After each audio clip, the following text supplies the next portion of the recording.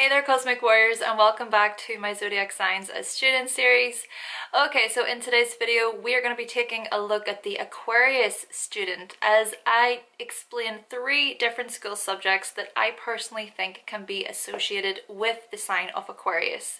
Now this video can resonate for you if you have any of your personal planets within the sign of Aquarius but this video is mostly directed towards those of you who have Mercury in Aquarius or if you have the sign of Aquarius ruling your third house.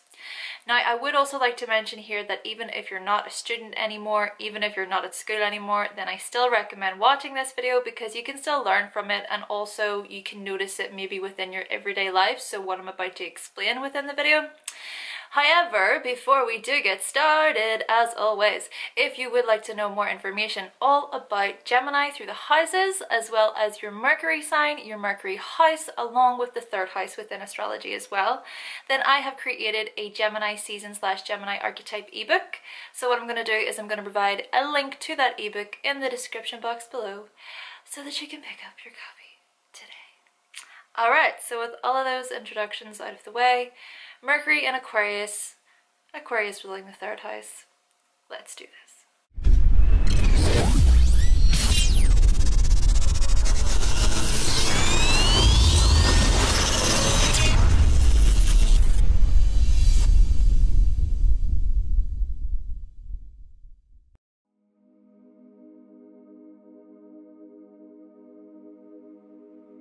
Okay, so the first subject that I chose for you, Aquarius, is physics. Now, I chose biology for Virgo and I chose chemistry for Scorpio, but for you, I chose physics. The why is this? Well, because you are the sign associated with technological and scientific exploration. You are a sign of experimentation and futurism.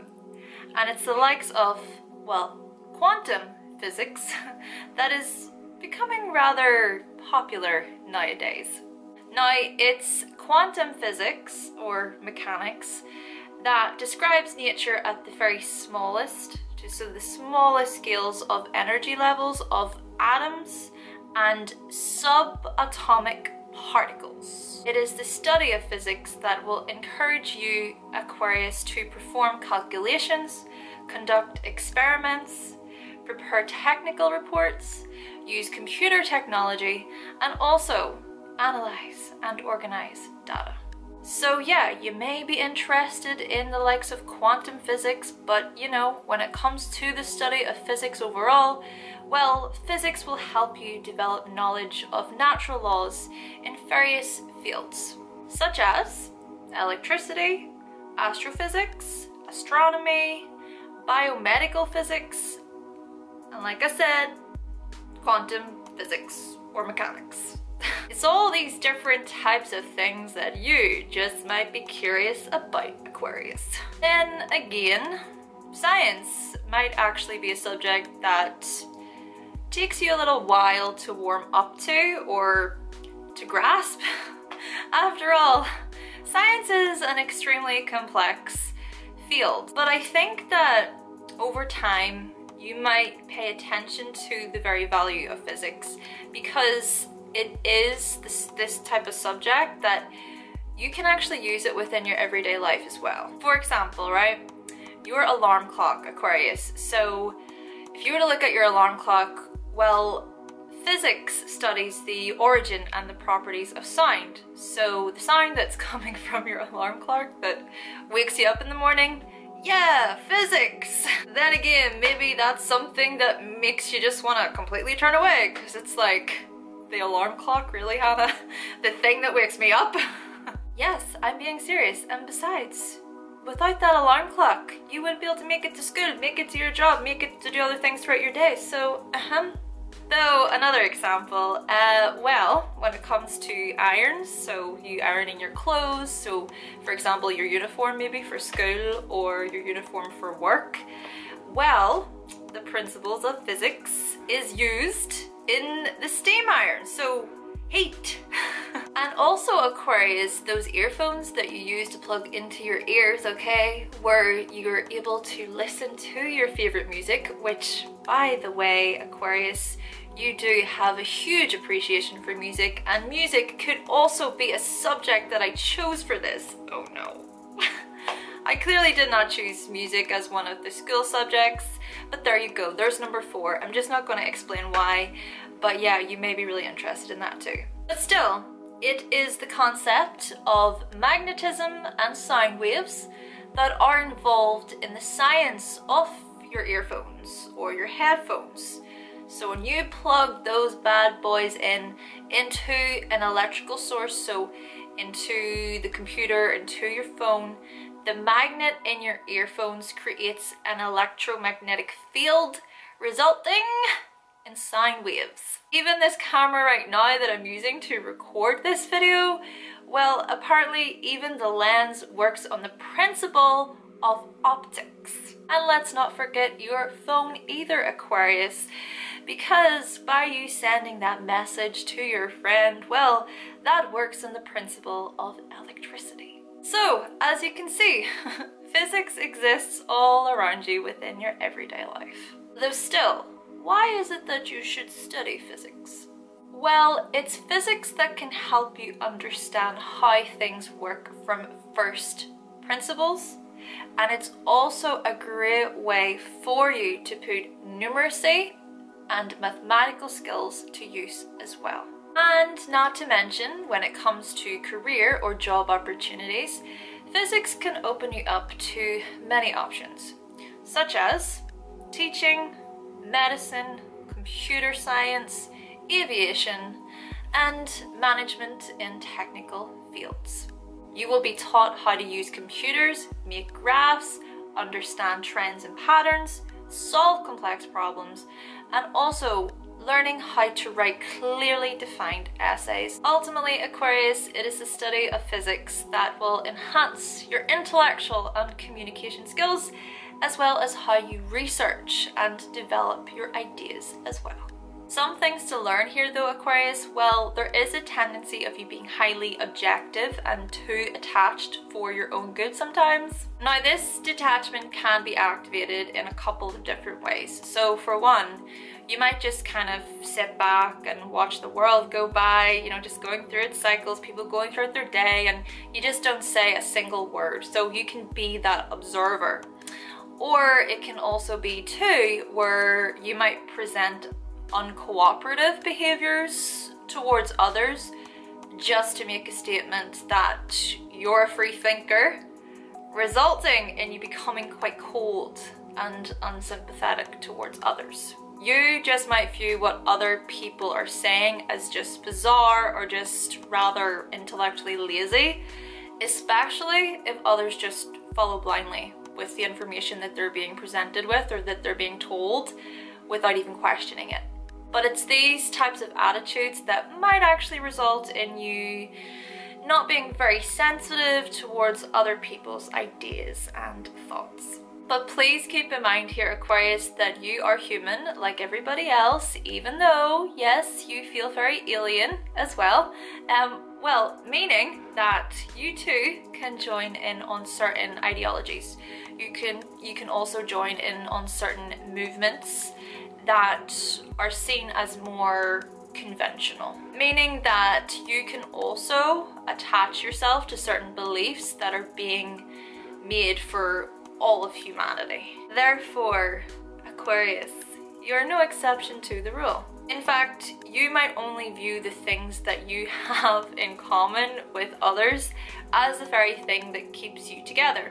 For example, maybe you and your friend, you are both vegan. So this is someone that you bond with over being vegan. That's a like-minded thing but then you decide or they decide that you don't want to be vegan anymore and what this might result in is disagreements it might result in disharmony between the two of you so in that way it might be that the shared passion for veganism was that very thing that was making you gel well together the most. Therefore aquarius perhaps it's a good idea to really learn how to use your objective detached mindset in a way that can actually help you connect better with other people regardless of them having that like mind or connection in terms of what they believe in or their different movements that they're associated with. So to recognize the individuality of others as you also share the research and the studies that you've been learning as well. So really to show mental empathy towards others by also being aware of also what your point of view is.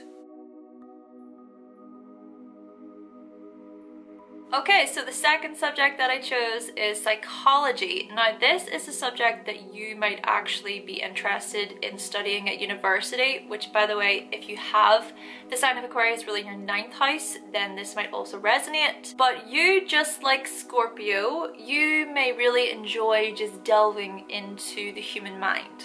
Because Aquarius, you can possess this deep interest in learning about other people.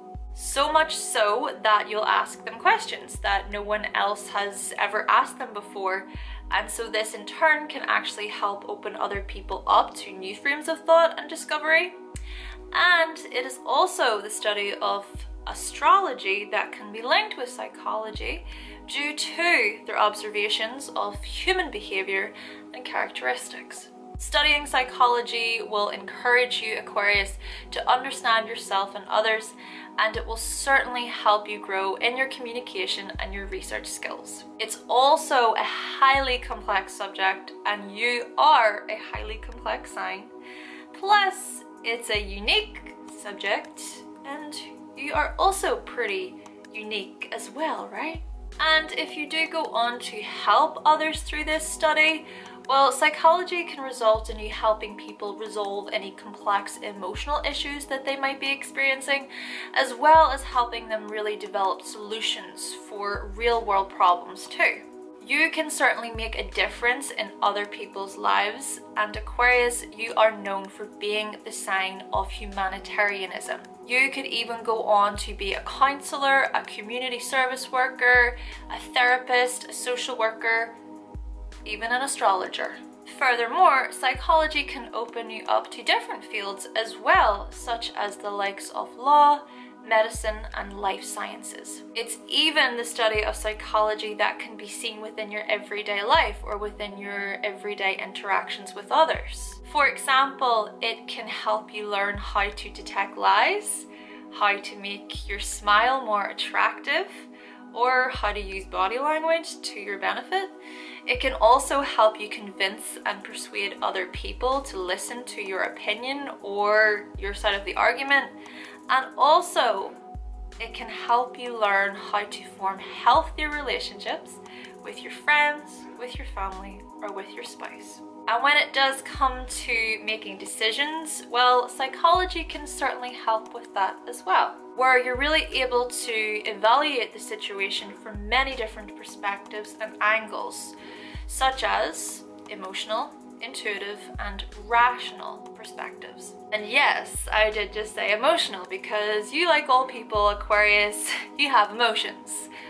You're just very good at hiding them. Some things to learn here though, Aquarius, well, sort of going back to this detachment from the beginning, well, yes, you can come across as unsympathetic towards other people's opinions and their ideas and their beliefs.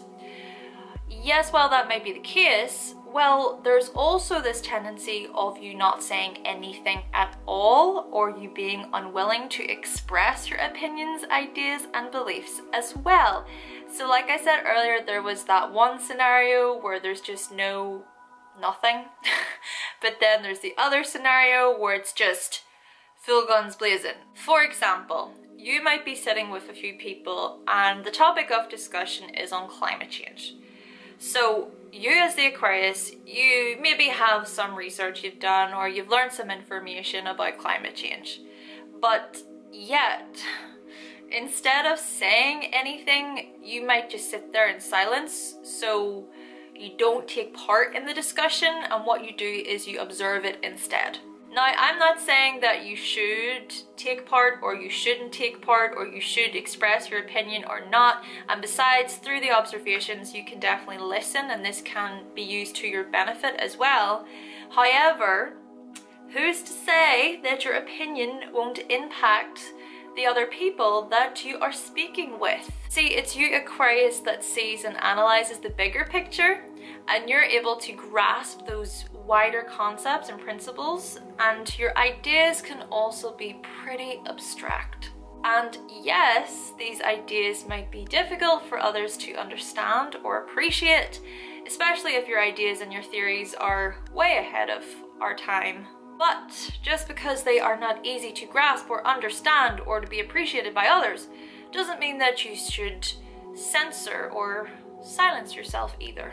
Ultimately, Aquarius, your future vision and your progressive ideas, they just might influence or impact others for their betterment. So perhaps the key here lies in you learning how to really use your objectivity and your detachment. So to identify the times in which you don't say anything, but also the times in which you do. So how does that usually play out and are you well received by others? Alright, sure, so maybe you're seen as this nutjob or as this conspiracy theorist wacko. What does that matter? If you present the research and the studies, right, whilst also being open to an adult, healthy discussion with another person, then in my opinion, it's fair game. You are the sign that gets other people thinking outside of the box, and I know that can be a bit of a difficult job because that box, that box people are in, is shut pretty tight. Now the third and final subject that I chose for you Aquarius is geometry. Now I chose geometry because it focuses on shapes and solids and it can be found everywhere around us. So from art to sports, from nature to space. All you have to do is look into the mirror and like look into your eyes and you will just see the certain shape that is located within the eye. It's the study of geometry that can help us measure distances, areas and volumes it can help us understand points, angles and lines. And apparently the term geometry roughly translates to Earth's measurement. Furthermore, according to a source that I found, geometric shapes of different toys play an utterly crucial role in the development of the cognitive skills in children during the early stages of their growth. So even from when we are so young and we're playing with our toys, geometry is in action. And if you do look out into nature, geometry is all around you. So different shapes and patterns in leaves, flowers, roots, stems, different fruits and vegetables have different geometric shapes, not to mention the patterns that we notice in technology, such as the complex graphics of video games even within your own home Aquarius. So the cushions, the rugs, the chairs, the table, the bed sheets, the cooking supplies. Safe to say, there is no escaping geometry. And it is also this study that will encourage you to think in an abstract way, Aquarius. Your analytical and reasoning skills will also improve and you'll also build on your logical thinking skills as well as your problem solving skills. Naturally, your interest in geometry here, Aquarius, can maybe filter into an interest in sacred geometry as well. And it's actually sacred geometry that involves sacred universal patterns used in the design of everything in our reality. So looking at how geometry and mathematical equations and ratios, how they are found in light, music and cosmology. So even if we take a look at the flower of life, for example, well, the flower of life, it has a six-fold symmetry, kind of shaped like a hexagon. Not to mention the golden ratio as well, and apparently the pyramids of Giza, they were built around the golden ratio um, as well as the golden ratio being found within the design of the Notre Dame. Ultimately, Aquarius, there may be many elements to sacred geometry and also to geometry overall that you might be highly curious learning about. Some things to learn here though, well there is a tendency of you being highly unpredictable in how you think and how you communicate, meaning that you can often surprise others with the decision, decisions or the choices that you often suddenly make. Seriously, an idea can just come into your head and you can just go with it, but by you doing so, you might actually lose sight of the value of present structures. For example, you might suddenly leave a certain position in work or even move to a new location because you decided in your mind that you wanted to. But yet, you might leave that current role or position in a bit of a sticky situation, meaning that you, Aquarius, you can be that type of person who has the tendency of burning your bridges. Further suggesting that it might be difficult, if not impossible slightly, for you to return to that previous position if ever you choose or want to do so in the future. Therefore, it's really a good idea to be more aware of the impacts and implications of your sudden predictable changes and choices. That way, you can close things or end things with more harmony and a sense of fairness for all. Now, of course, this all depends on the situation. I mean, if you are treated horribly or if you have no other choice in the matter, then yes, it may not be as straightforward as that. But I think that by you addressing the situation from different angles, from different perspectives, you can make decisions that can work for you, but also work for other people in the long term. Okay then Cosmic Warriors, so that concludes my video on the Aquarius student. Now if you happen to have your Mercury in Aquarius or Aquarius ruling your third house, then it would be good to hear from you in the comment section to let us know what you thought of the video and to also share your own experiences. So with all that being said then, thank you so much for watching, thank you for subscribing, and if you would like to see more videos from myself and you have not yet subscribed, then go right ahead and click the subscribe button. And I will be back with another video very, very soon. Bye!